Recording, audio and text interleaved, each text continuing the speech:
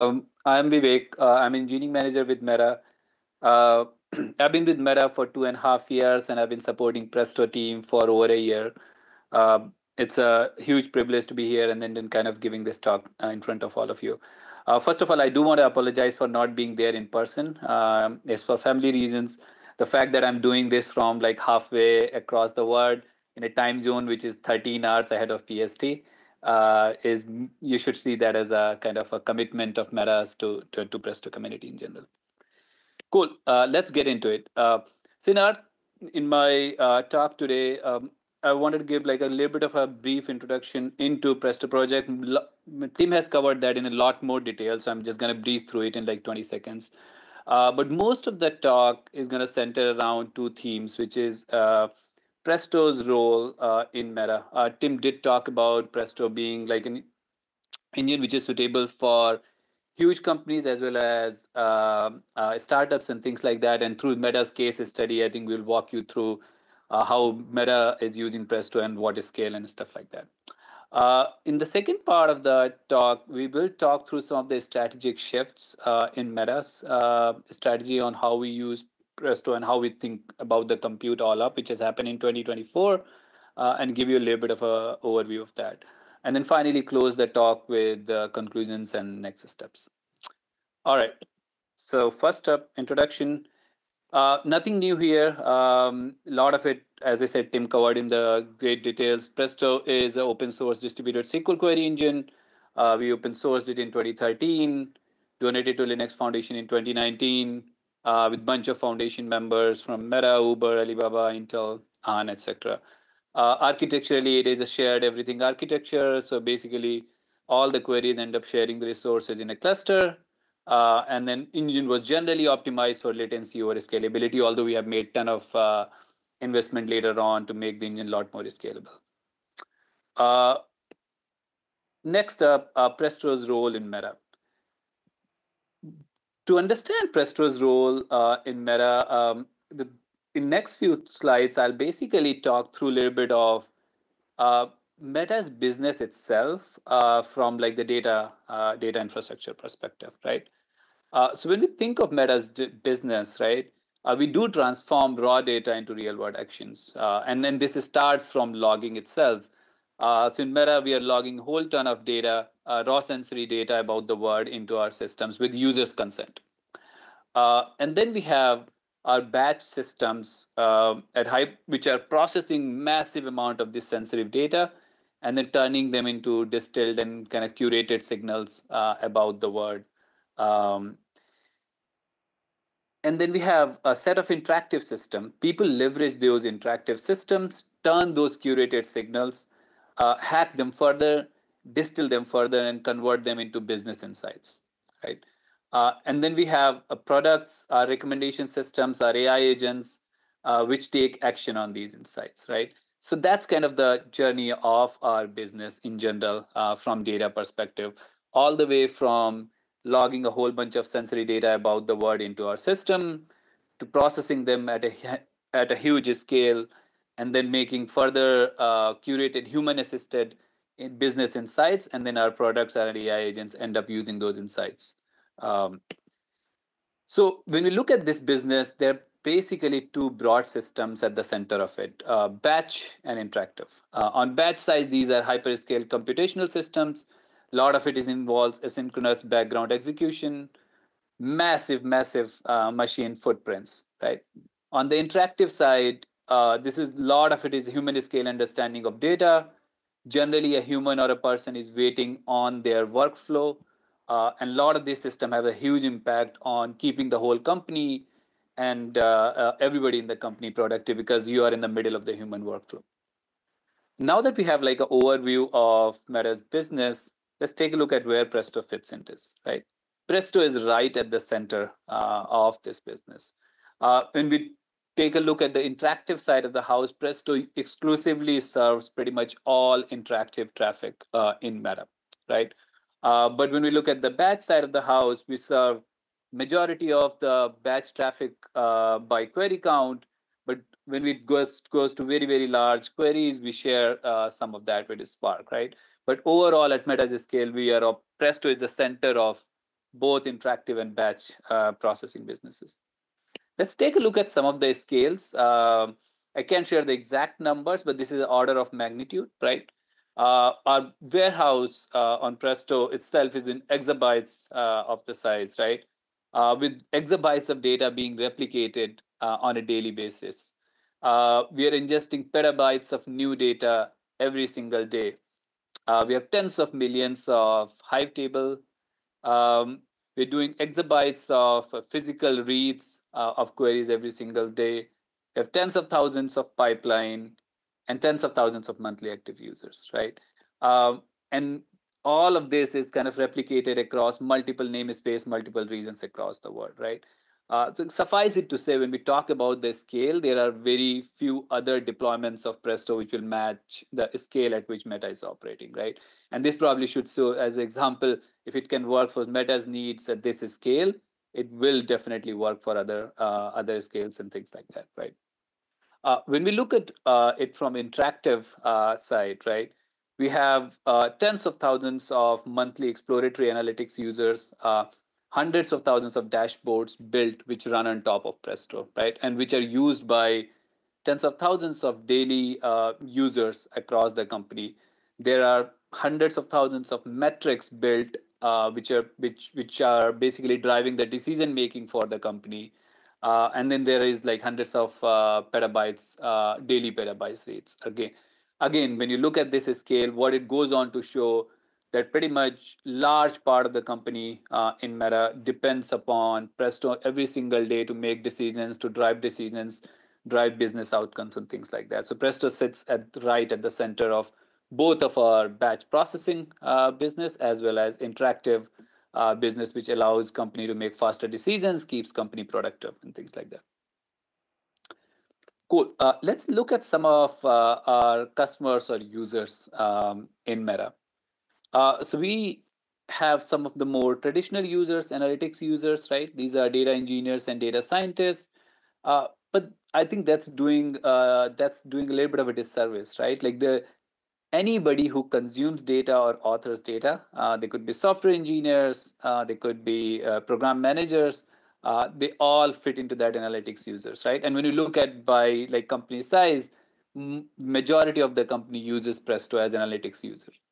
Uh, we have some critical data applications within the company which exclusively run on top of Presto. Some of these are traditional dashboarding application or exploratory analytics applications but there are a lot more advanced uh, use cases outside those use cases traditional use cases as well. Like our crm solution which sales organizations use uses uh, and many many others. Uh, more on more uh, kind of evolving use cases around ml and stuff like that. Whole bunch of mle engineers use presto uh, through their notebooks and stuff like that as well. Uh, experimentation so Meta is a very, very data-driven company. Uh, almost everything we ship through our products, uh, which goes to generally general availability, has gone through extensive amount of uh, A/B testing. I don't think there is a software engineer in Meta which has lived here at at least in our product group, which has worked here at any length of time and has not used experimentation platform. Right? Uh, experimentation platform in Meta run on top of Presto almost exclusively. There's some users of Sparks, but with Prestissimo and Velox, that offering is becoming more and more attractive. Um, our AI uh, recommendation systems use Presto for data prep, data prep and data analysis and things like that. And there are a lot more use; those uses are uh, increasing over the period of time. Uh, and finally, we do all of that in um, privacy compliant and secure ways. So our privacy systems uh, use Presto um, um, day in and day out, right? So when you look at all of these use cases, again, I want to highlight how critical Presto is to kind of Meta's business across all of these use cases, right? Uh, with that, uh, let's kind of uh, shift to the the second uh, part of this uh, uh, talk today. some of the strategic shifts in 2024. But before we talk about strategic shifts in 2024, I want to kind of uh, recap uh, from last year's PrestoCon, um, like a little bit of 2020 in 2023, where were we going strategically, right? And Tim covered some of this um, mm, as well, right? we had existing deployments of Presto, and then with Velox, uh, uh, we Prestissimo, uh, Presto on Spark. We have also have deployment of Spark, right? Uh, so there's some things we were kind of doing, right? We were trying to consolidate our language layer uh, through uh, Presto um, and then Presto on Spark, so that Presto SQL becomes the language via which basically pretty much all the authoring and things like that happens in company. Uh, and then Velox uh, was the engine via which we wanted to kind of execute all the evaluation uh, layer and execution layer across the across our engines, right? But there has been some change and evo evolution in our business uh, realities, right? Let's kind of talk through them. Uh, with our Velox investments, like one of the things we notice is Presto itself is capable of handling lot larger queries than it was able to do in the past, right? Uh, with all the efficiency gains, things which used to take three hours to execute can be executed now in under an hour, right? So the Presto on Velox or Prestissimo itself has kind of gained a whole ton of efficiency, efficiency and is right shifted in terms of the size of the queries and things like that we can run. Uh, with the advent of the Gen AI within the company, the demand for PySpark and other popular OS, OSS libraries also kind of grew significantly higher. Uh, there were significant new demands on Presto ecosystem itself coming from the AI and then Gen AI side of the things, right? Uh, and as was the trend across the, across the industry, uh, our teams were required to kind of consolidate their investment in fewer areas and stuff like that. Uh, with that, we basically took a look at our customers. Um, um, this is not an exhaustive list, but like a, I think a good rubric which helped influence our decision making. Uh, so on the on the authoring side, um, uh, one of the challenges our uh, customer face is they work with two different SQL dialects uh, from Presto SQL and HQL. Uh, when we look at authoring pipelines with a lot of custom code, this is generally possible in Spark. Presto supports some of this, but not to that extent. Uh, when we look at rapid iterative pipeline development, a lot of this can only happen in Presto, right? Like Spark doesn't support that. Uh, SLOs, Presto generally is a better engine for providing latency, efficiency, and reliability up to a certain scale when you start hit, hitting kind of Presto limits and things like that. Uh, and then on reliability and efficiency side, it is kind of bit hard for our users to know what is the right engine of their choice. Uh, and even if they make the right choice at the beginning, as the data grows and their need for customization increase, uh, how do we kind of shift from one engine to another and things like that, right? Uh, when we looked at this kind of changed uh, business realities or changed uh, evolution and business needs, as well as um, kind of our customer segment, basically what we uh, decided to kind of our going forward strategy is two engine, two dialects, right? Um, so basically, to adapt to this new rea- new reality, our engine strategy is being aligned to more our interactive and kind of batch workloads. A story where Presto SQL and Presto will serve interactive and batch workloads that are latency sensitive and benefit from Presto as a streaming architecture. While PySpark uh, and Spark will serve super large batch workloads requiring ton of customizability, scale, and kind of predictability. Uh, wh- what does this mean from our developer author developer workflows perspective, right? So when we look uh, take a look at our existing workflows, developer use our DAC, Daiquery, which is our exploratory analytics uh, um, product. Basically, you write SQL queries in that and run them against Presto. Uh, they author Presto SQL and test against Presto. Uh, and when we use a run against Presto's limit, uh, Sapphire or Presto on Spark used to be the bridge without having to rewrite the queries, right? Uh, and previous it's, it's iterations of the strategy enabled this. Uh, Tim talked about this as, as well as a tool to scale Presto for super large queries. Uh, with some of the changes we in a strategy, the two engines, right? With Presto SQL and Presto is still default engine of the choice for pretty much vast majority of our customers. Earlier, Sapphire allowed customer to extend beyond Presto limits without having to rewrite their pipelines. Uh, but going forward, customers who hit Presto limits will have to rewrite uh, some of their pipelines. Uh, we will we are providing more tooling and guidelines to our kind of customers to improve their developer experience. Cool. Uh, with that, let's take a look at some of the conclusions um, uh, and next steps, right? So what does that change in strategic shift means for us? Right, we continue to double down on Velox and Prestissimo uh, and scaling Presto. Uh, there is going to be multiple talks on that track um, uh, later today. We have made tremendous amount of progress this year in Meta uh, in kind of um, I think I don't have the top of the mind exact number, but let's say a sizable portion of our batch warehouse is still uh, has started running already on uh, Prestissimo and and Velox, right?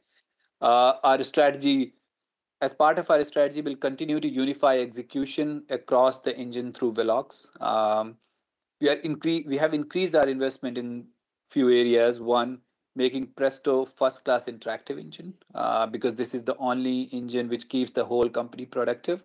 And we have made ton of progress uh, in this area itself uh, in 2025, uh, saving thousands of years uh, worth of hours uh, worth of time for from hum- for humans in Meta to keep them more productive.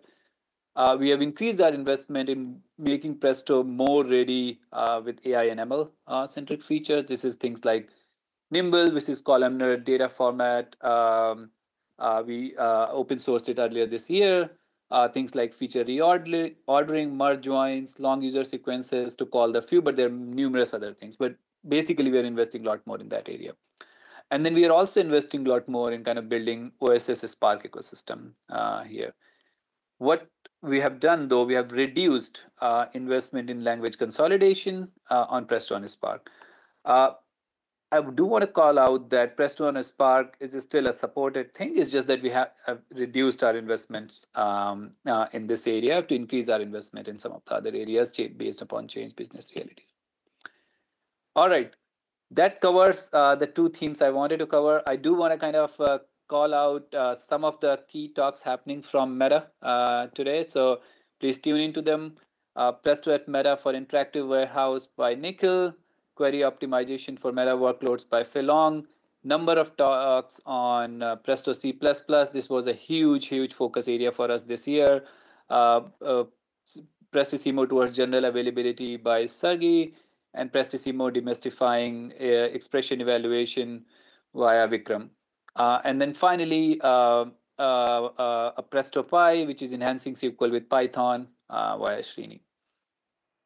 Cool repeating some of the stuff uh, Tim said, please do get involved in the community through Slack, uh, on Presto Velox, uh, filing issues uh, on our Git, GitHub, sending a PR request, uh, contributing to blog posts in community, numerous ways to contribute. And finally, uh, we are hiding at Meta. So, so if you are kind of looking for opportunities to contribute to Presto while working at Meta, please reach out to me, Pedro, or anybody else who is kind of uh, Meta's, uh, who is from Meta, uh, and you uh, you have access to in the PrestoCon. Thank you.